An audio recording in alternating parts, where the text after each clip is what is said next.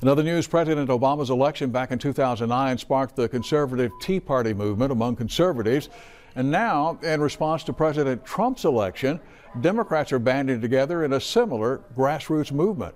KRIS 6 reporter Jane Caffrey's been looking into that, and she joined us now with more. Jane. Lee, this Democratic grassroots movement is called Indivisible. It's been around for just over a year and it's growing here in the coastal bend. Though modeled after the Tea Party, Indivisible is the polar opposite when it comes to ideology. I, Donald John Trump, do solemnly swear. Since President Trump took office, there have been protests in the coastal bend against his agenda. Resist and persist. Many were planned using this guide written by former congressional staffers last year. It's the Indivisible Movement's Bible, and it tells ordinary people how they can get members of Congress to listen to them and stall the Trump agenda. It's the idea of you know, you have to be held accountable. Your constituents are your bosses. Mary Alice Gonzalez started one of two local Indivisible groups.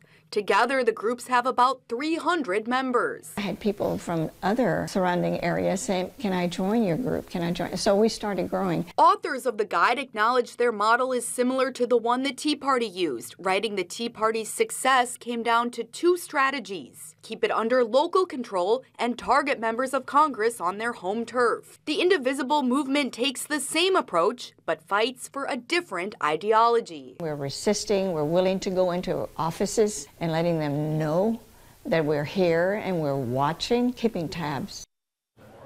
I also spoke to the Nueces County Republican chair. He believes the Tea Party had more momentum locally than Indivisible. He also does not think local candidates will be swayed by the Indivisible movement in this year's elections. Lee. All right, thank you very much, Jane.